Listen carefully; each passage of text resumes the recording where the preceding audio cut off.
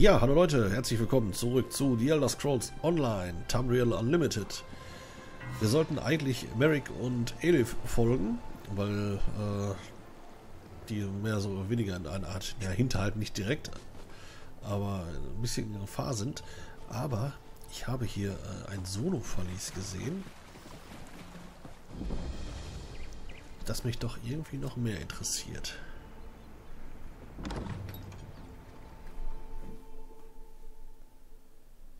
Ja, aber das scheint gar kein Solo-Verlies zu sein. Wo sind wir denn jetzt gelandet?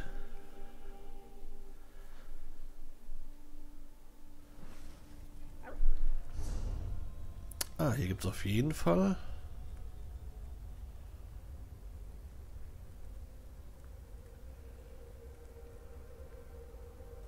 Was scheißt denn hier die... Was, was, was scheißt... Was scheißt denn hier die 10? Was heißt denn die 10? Ne, das scheint doch ein Solo-Verlies zu sein.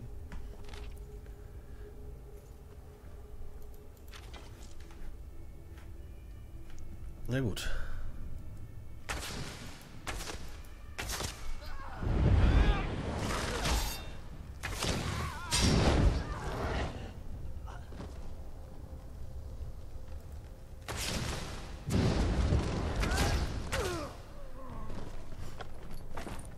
Das mit dem, dem Zurückschlagen, mit dem Explosivding ist noch nicht ganz geschnallt.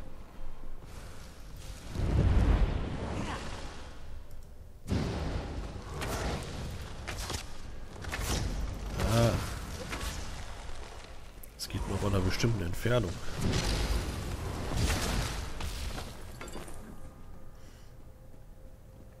Ja, die anderen machen auf jeden Fall mehr, mehr Schaden als ich.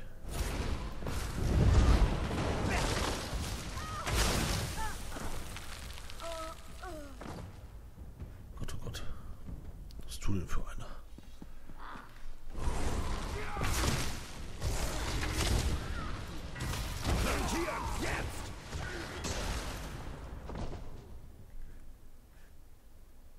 Irgendwie kann ich mich nicht bewegen. Was ist denn los hier?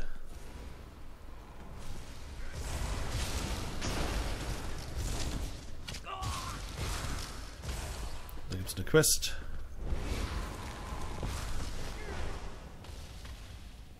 B. Plündert so viele Ilesa Ilesanischen Ach, plündert so viele ilesanischen Touren wie ihr könnt. Wir brauchen Ressourcen, um sie in unsere neuen Verbündeten zu bringen. Bis ihr damit durch seid, werde ich ein Herrenhaus nördlich von Delens Mühl des das Nolendauen was Herrenhaus in Beschlag genommen haben. Nehmt die Durchschutzwachen in die Zange, wenn ihr dort ankommt.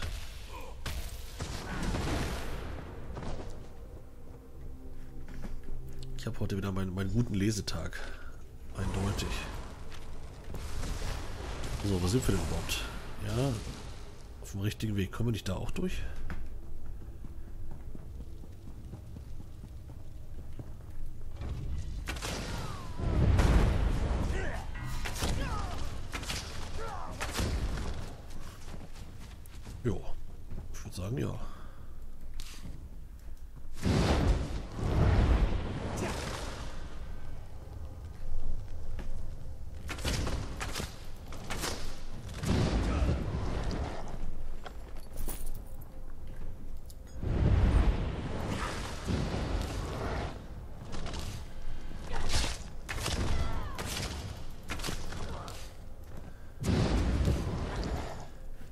Oh, wir haben keinen Mana mehr.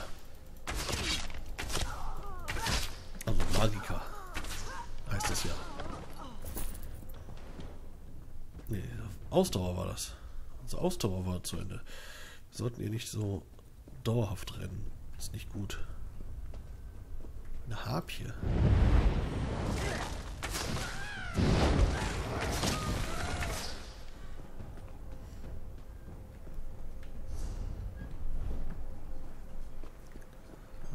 Nur in der Scherbe. Hier kann das sein, ja. Wie kommen wir denn da hoch?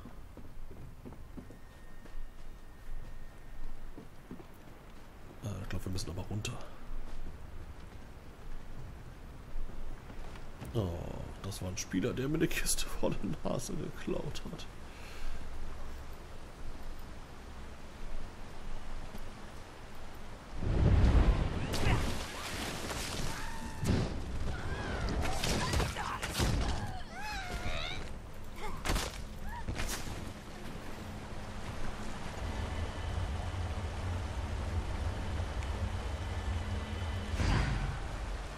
Zack.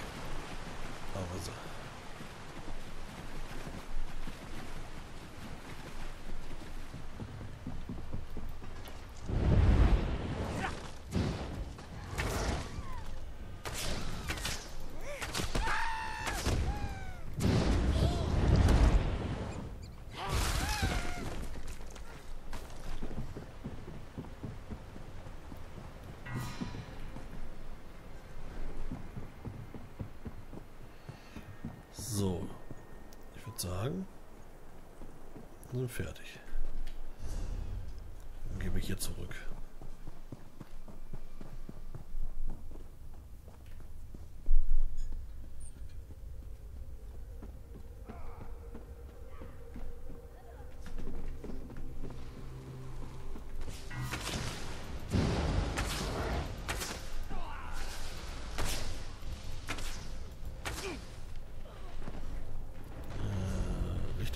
Fudge.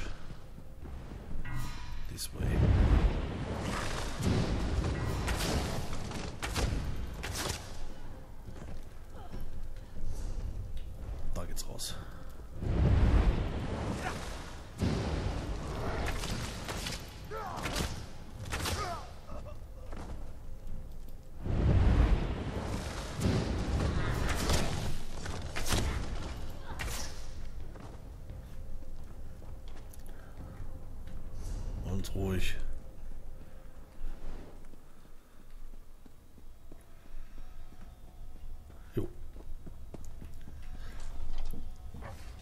Das war ja mal ein Mini-Mini-Dungeon. Mini-Mini-Mini-Dungeon. Aber es gab eine Quest und äh, eine, eine, eine Scherbe. Also jetzt nichts umsonst, was man hier macht. So.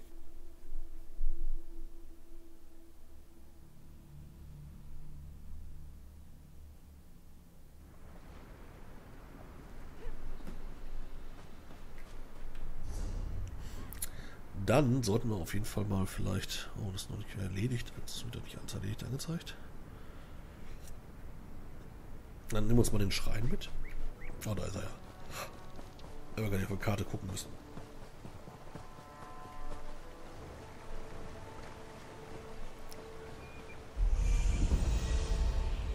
Oh. Aufgestiegen.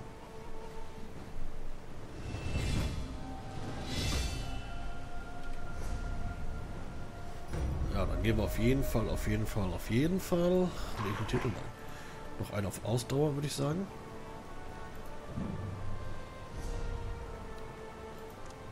Und ja, das interessiert uns eigentlich nicht.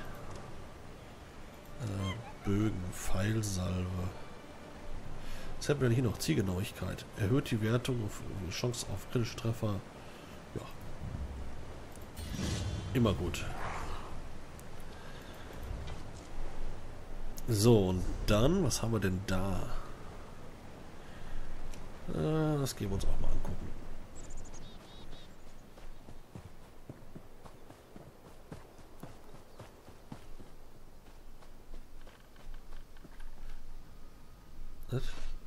So böse.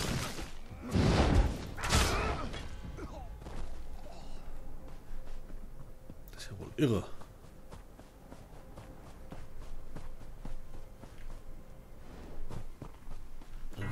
Es ist irgendwo da oben. Kommen wir da hoch? Ja, hier.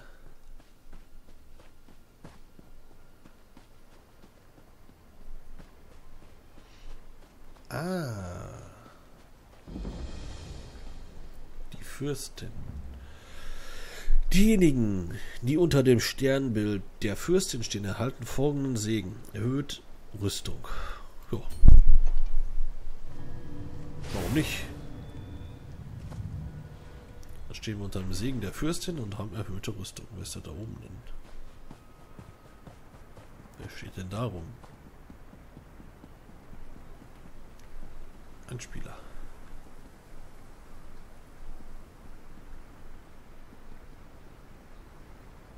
So. Dann würde ich sagen, gehen wir als nächstes dahin. Wir gehen jetzt alles so ein bisschen ab hier. Oh, da ist gerade, glaube ich... Ich glaube, das ist... Ich weiß nicht, was das ist. hm.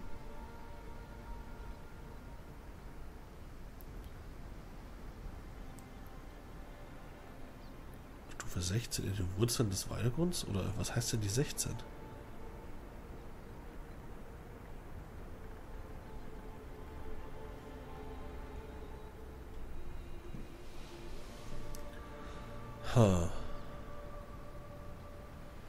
Tatsächlich noch das Verlies als höhere Stufe sein für Stufe 16. Ich weiß es nicht. Wir gehen auf jeden Fall mal zu dieser Ruine.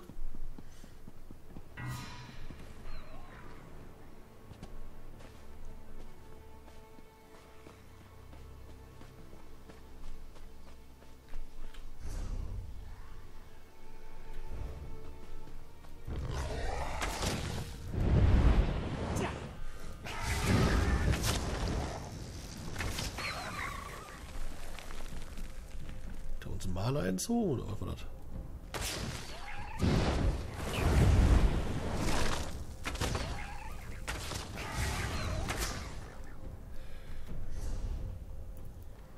Tja, das ist jetzt hier irgendwie gar nichts, so wie es aussieht. Dann gehen wir mal dahin.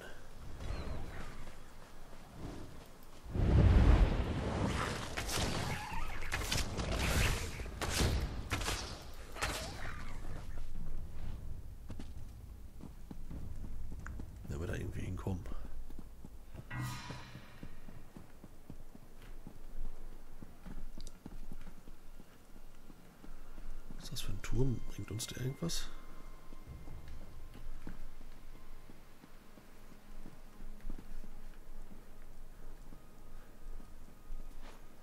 Oh. Uiuiui.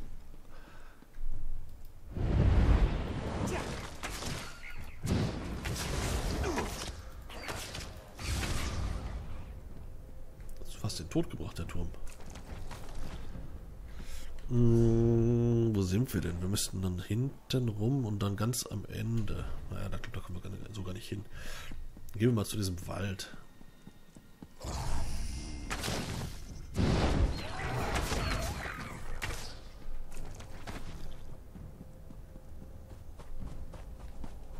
Da ist, glaube ich, Erz. Jo.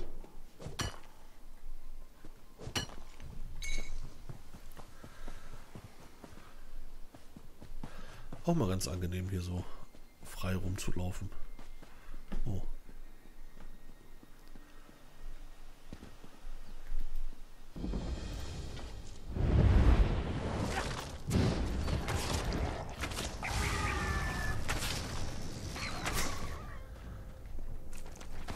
Tal der Wächterin.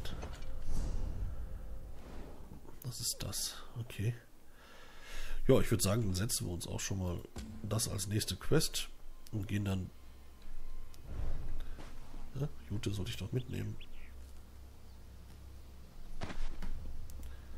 Gehen von da aus dann zu unserer Quest.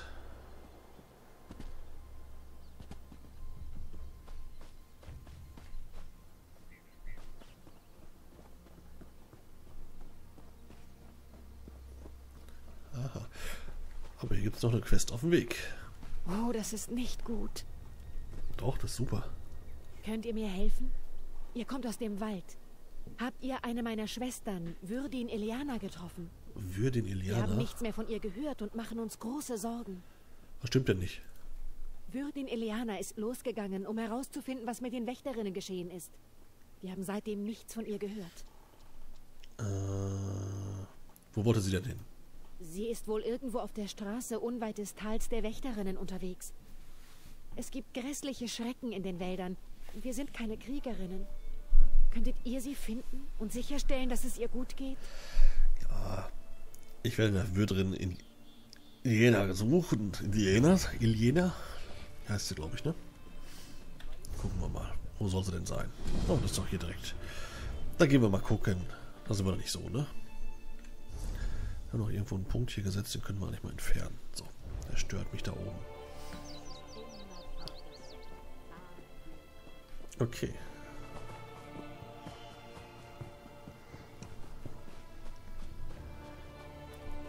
Was rennt denn darum?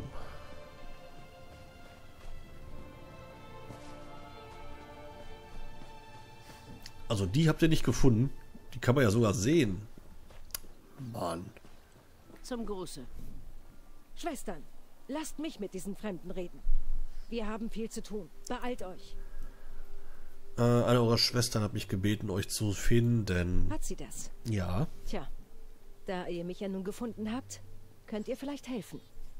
Die Wächterinnen sprechen nicht mehr mit uns. Es gibt einen alten Ritus, um sie zu rufen, der vielleicht Wirkung zeigen könnte, aber es ist zu gefährlich für mich und meine Schwestern, ihn durchzuführen. Schließlich sind wir keine Kriegerinnen. Ich könnte helfen. Ich weiß nicht. Ihr seid keiner von uns. Aber wir können auch nicht einfach untätig bleiben, schätze ich. Seht ihr die Schlurfer dort? Sammelt ihre Gliedmaßen. Das ist der gefährliche Teil. Dann verbrennt die Gliedmaßen am Altar auf den Ruinen in der Nähe. Wenn es klappt, sollte eine Wächterin erscheinen. Äh, und dann was? Findet heraus, warum die Wächterinnen verstummt sind.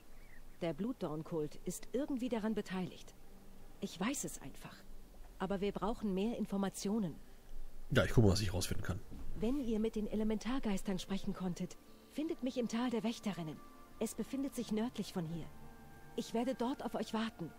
Bitte, beeilt euch. Wir brauchen die Weisheit und Führung der Wächterinnen jetzt mehr als je zuvor. Äh, und was ist ein Schlurfer? Sie sind Abscheulichkeiten der Blutdornen. Aha. Die Schlurfer waren einst Zweitlinge, bis die Kultisten sie verbogen und verdorben haben. Nichts anderes tun die Blutdornen. Wir müssen sie aufhalten. Okay, dann machen wir das. Stufe habe ich da gerade gesehen.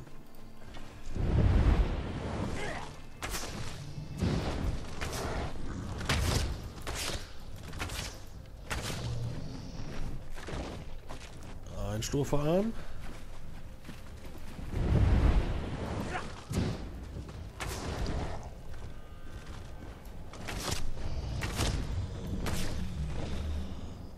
Ah, jetzt habe ich da, für die habe ich eine passende Rotation. Also, wir fangen an mit Betäuben. Blutsaugen, Gift, ein harter Angriff und wegschleudern. Dann liegt er direkt tot vor mir. Na, das passt. Was habe ich entdeckt? Ein Turm? Ach hier. Wo ist denn hier ein Turm? Hab ich gar nicht gesehen. Ha.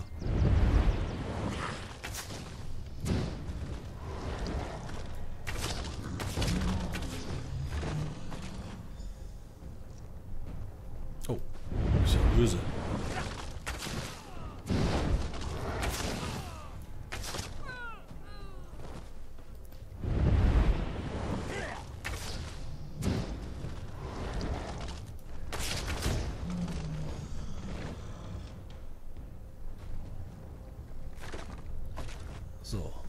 Stuferarme habe ich.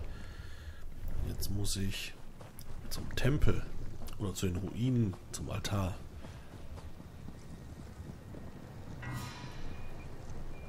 Das scheint da oben zu sein, oder?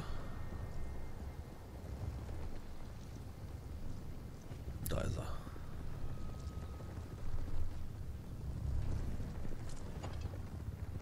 Liegt da jetzt auch die Arme hier drauf? Nein. Seid gegrüßt, Kind. Wir haben schon darauf gewartet, dass uns jemand ruft. Kind? Angoff, der Grabessänger, hat uns gefangen genommen. Jetzt sind wir vom Wirt abgeschnitten. Ihr müsst die Wächterinnen befreien. Äh, wie kann ich euch befreien? Haben die Sterblichen so rasch die alten Sitten vergessen? Ganz sicher erinnern sich die Würdinnen noch an die Menhire. Zuerst müssen diese Steine von Angoffs dunklem Einfluss geläutert werden. Beschützt den Wirt, während er die Verderbnis auslöscht, die die Steine befallen hat. Also wird die Auslöschung der Verderbnis euch befreien. Nein, aber diese Läuterung sollte Angofs Griff lockern. Erzählt Würdin Iliana von der Verderbnis. Sie wird wissen, was zu tun ist. Unsere Zeit wird knapp, sterblicher. Befreit uns, ehe Angofs Verderbnis auch uns erfasst. Wer ist Angoff? Er ist ein Beben im Land, ein Gift im Wasser. Er ist ein Flüstern, ein Schatten, ein forstiger Wind. Er ist Grabessänger und Regmagier, Nekromant und Verderber. Er gebietet über Tod und Fäulnis. Angoff bindet uns und möchte uns zu einem Teil seiner selbst machen. Grabessänger? Das klingt schlecht. Grabessänger sind Nekromanten, die nach der Macht über Leben und Tod streben. Sie versuchen die Reiche zu kontrollieren, die wir hegen und beschützen. Sie rufen die Dädra an, die sich in der Finsternis verbergen, damit sie sie in ihrem Streben unterstützen. Okay. Und damit sage ich auch schon wieder vielen Dank fürs Zuschauen und bis zum nächsten Mal, wenn es wieder heißt Let's Play The Elder Scrolls Online Tamriel Unlimited. Bis dann, tschüss!